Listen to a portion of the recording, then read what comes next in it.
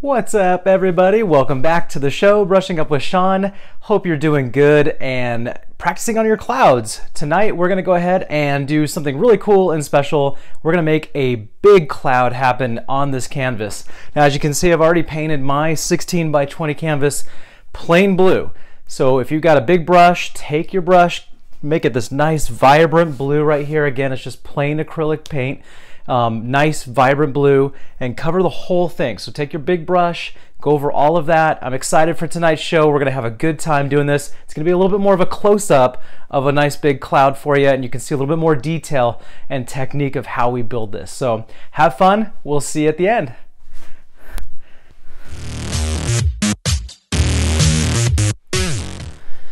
All right, guys, let's get started on this painting here. I want you to go ahead and grab a couple different size brushes, a small brush and a medium sized brush. You're gonna need both of them, but we're gonna start with our medium sized brush.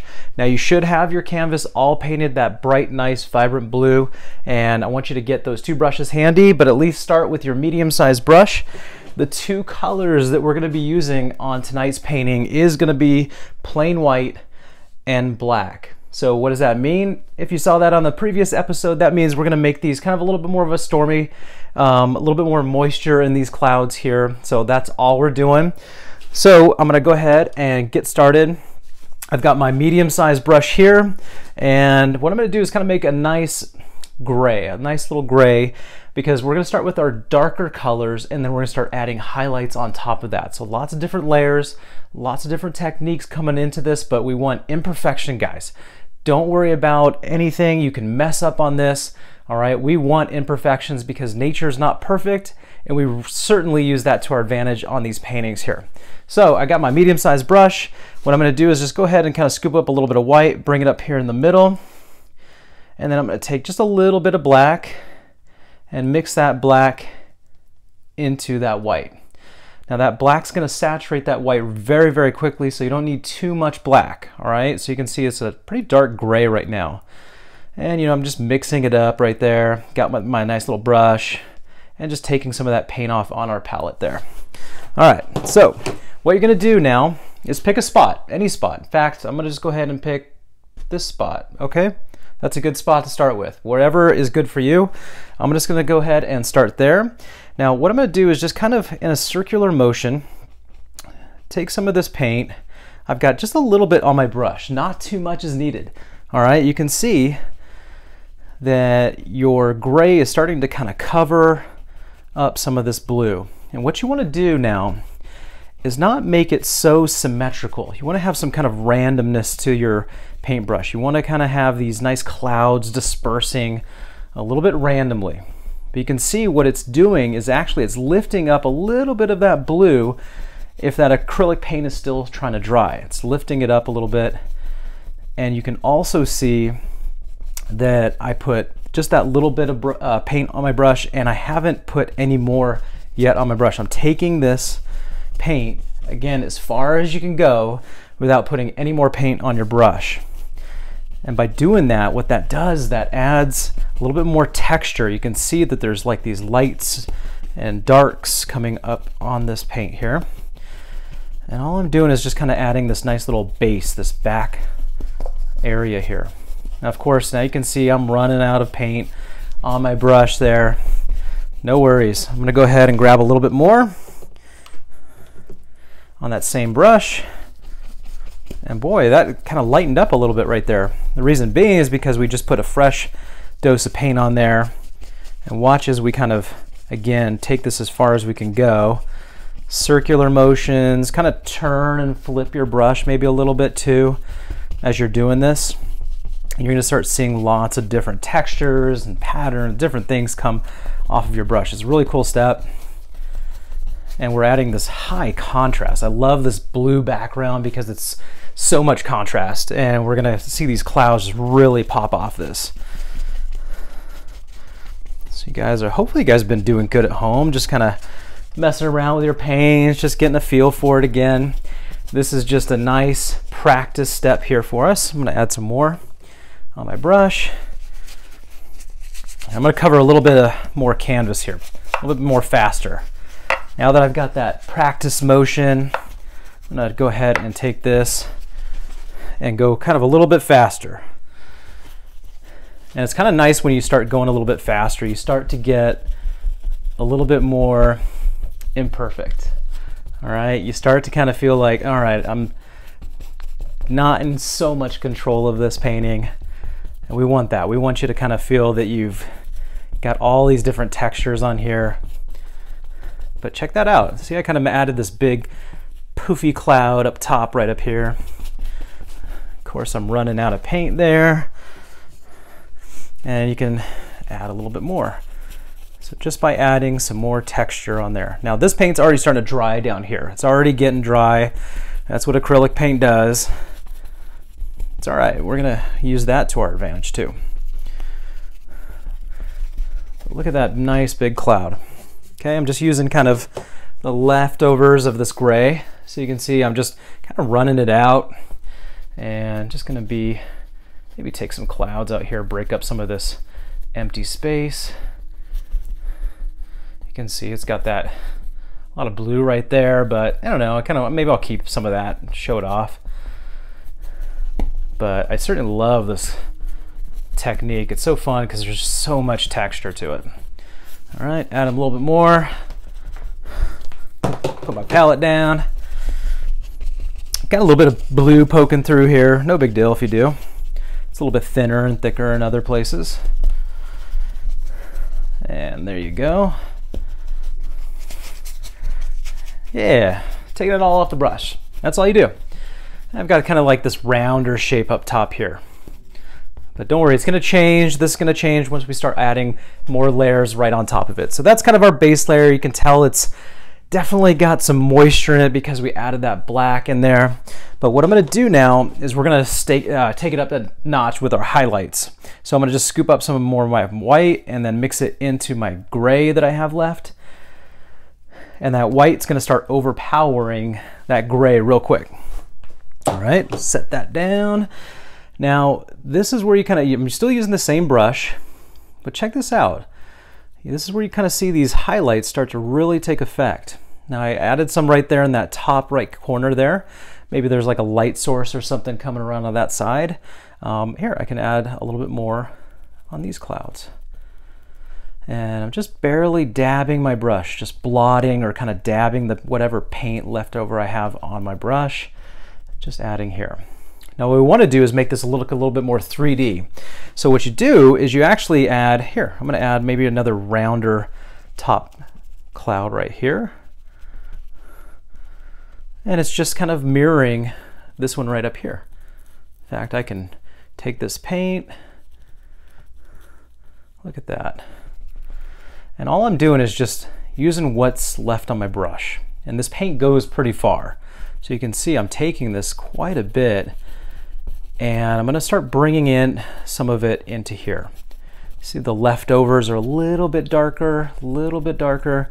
So now you can start kind of maybe tapering some of that in there and making some highlights and lowlights, but breaking up that original kind of darker gray in the back. You want to start kind of getting rid of like so much of it. You don't want so much showing because that's going to be like our little base layer right there. Nice. Oh yeah. Look at all that texture. Paint's, you know, a little bit wet. It's coming out, but it's drying. Hope you guys had a good week. You guys been killing it at like those raffle guesses too. Been doing a good job. Last time we had the Val Kilmer guest. That was pretty sweet. Tombstone was the uh, most popular Val Kilmer movie guest. That's a good. That's a good movie. I like that one. Check that out. Look at those highlights. This one kind of stands out now because there's some shad some shadowing, some grays right there. I'm gonna bring some highlights down here. That's all it is, is really kind of just tapering. I'm just running off that paint that's on my brush and I'm gonna add some more. All right, let's add some down here, some brighter highlights. And what's so cool is you can take so much time doing this. You can like really just practice, just kind of get a feel for how the paint's gonna work, how your brushes are working. And you can see that each cloud's so different. We've been working on clouds for a little bit. We got silhouettes coming up next. We've got all these different things that we're gonna keep working on and just practice. Gonna be a fun time, guys. But take your time. This is certainly stuff that you don't learn quite overnight. And you just follow the instruction, just take your time, and eventually you start getting the knack of things. You start feeling how that brush is working for you or against you. Sometimes you feel like you mess up, it's okay, especially on these. You can definitely add so many different layers and wait till this paint dries off. Look at, I'm gonna add another highlighted cloud here.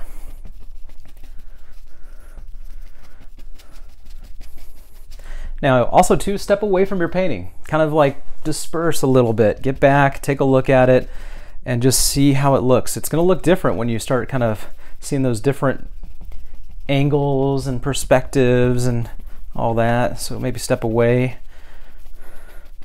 That also helps. I'm gonna stay with you up here. All right, so we're adding these cool highlights. You can see our low lights tapering through.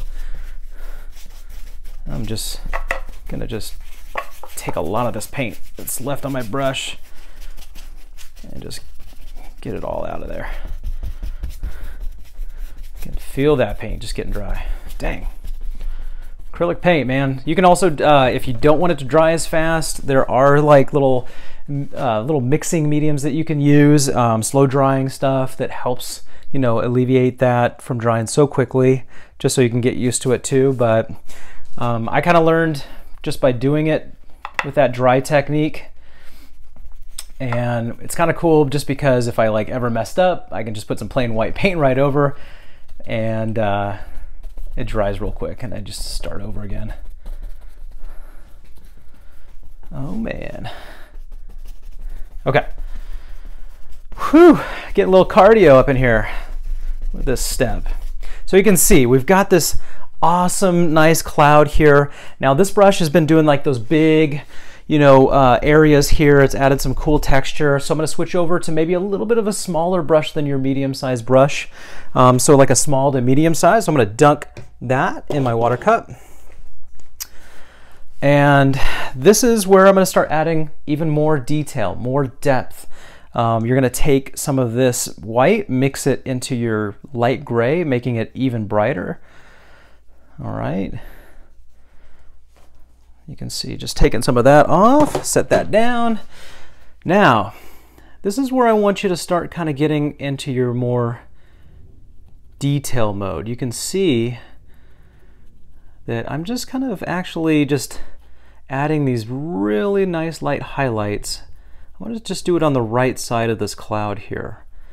Now if I feel like I'm gonna, you know, want to go to the other side for sure, you can feel it, whatever you want. You're the artist. But you can see just what that does, that that that bright technique. And that starts to add a little bit more depth now into your clouds here. It takes it from being so boring and mundane. And check this out. I'm to add a little highlight right here. And what that does now, it looks like there's even more depth in your clouds but just by adding another layer of highlights. So again, we started with our you know darker gray and then we just started kept adding different highlights on top of this. Now keep working on it guys. It's to take a little bit of time. All right, so I want you to just kind of have some fun with it. Take your time on it. And we'll get this going. Boom. This is fun. Look at that. Really pretty color. I'm to go ahead and add, look at those highlights there.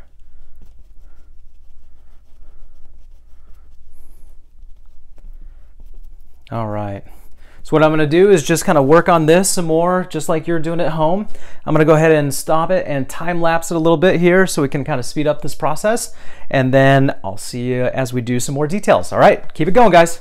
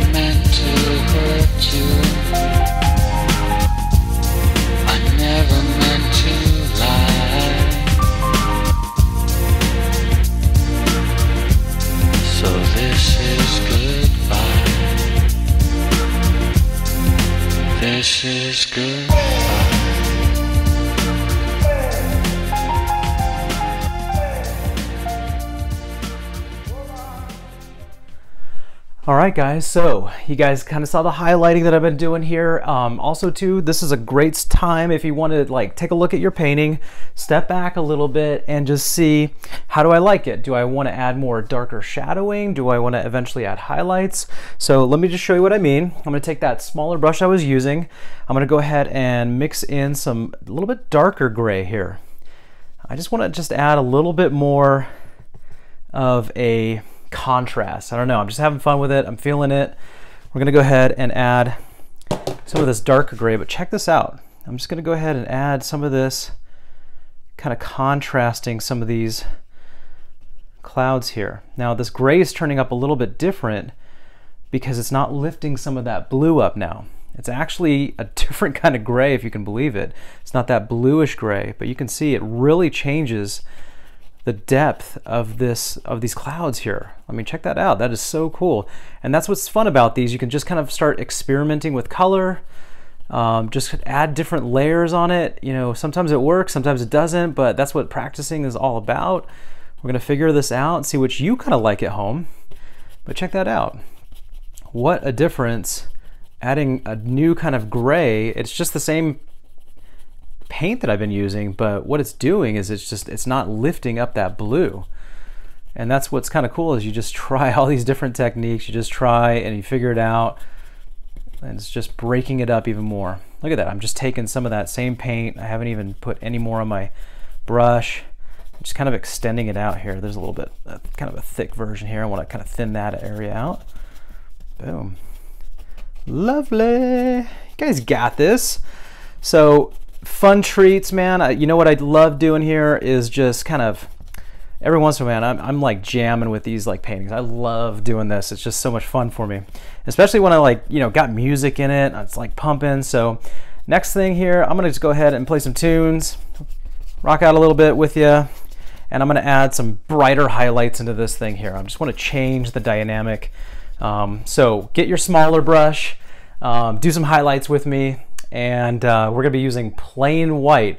So just have some fun and let's wrap up these clouds here. Again, just practicing at home, that's all it takes. Just keep going, you know, different layers. See, I'm just kind of taking that dry brush now and kind of extending some of that out. Boom. Added those cool shadows, but wait, man, we're gonna add some sweet highlights here. So have some fun with it, enjoy, and thanks so much for painting with me again. We got some fun stuff coming up. Can't wait. We're gonna keep this rocking, guys. All right? Have fun. Highlights are coming up. Here we go.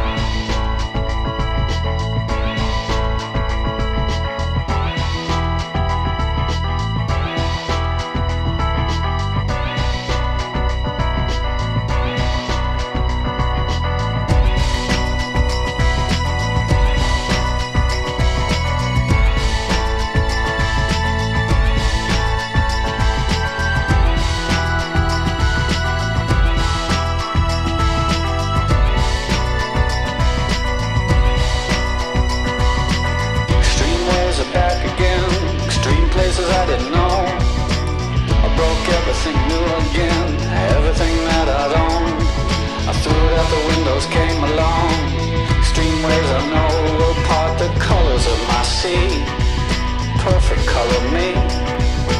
Extreme ways that held me. That held me out late at night. Extreme places I had gone. But never seen any light. Dirty basements, dirty noise, dirty places coming through. Extreme worlds alone. Did you ever like it, Pam? I would stand in line for this. There's always room in life for this.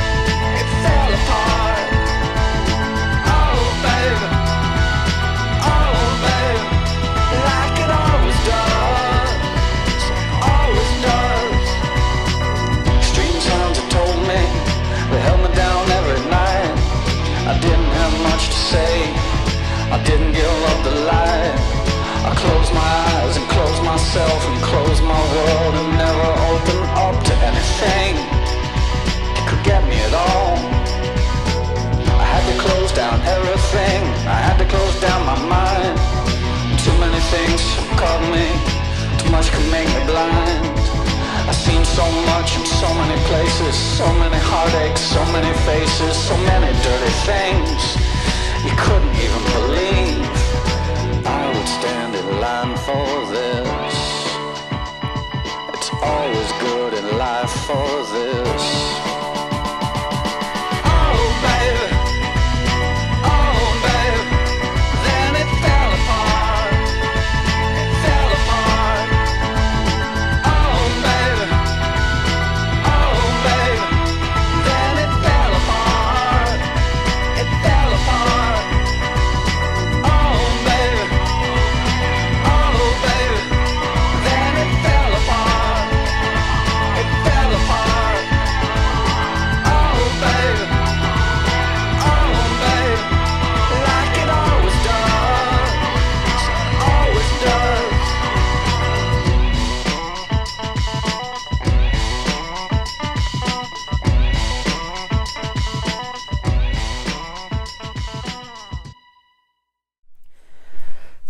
Okay, guys, that is a wrap on these big clouds here. I hope you enjoyed it as much as I did. For sure, had a good time tonight with you guys, painting with you. Keep up the good work, all right? Just have fun what you're doing. Again, make mistakes, enjoy what you're doing here. We're gonna delve into some different techniques, different things come up here, completely gonna change all these different things that we've been working on here. Of course, we've been staying with clouds, but now it's time to keep moving on. We're gonna do some pretty awesome things here, and I'm excited that you're uh, with me on this journey here. So again, brushing up with Shaun, like us on Facebook, uh, subscribe on YouTube, tell your friends, family, whatever. Uh, I want you guys to have as much fun as I am with these paintings here. So we'll see you next time. Have fun. And remember, anyone can paint.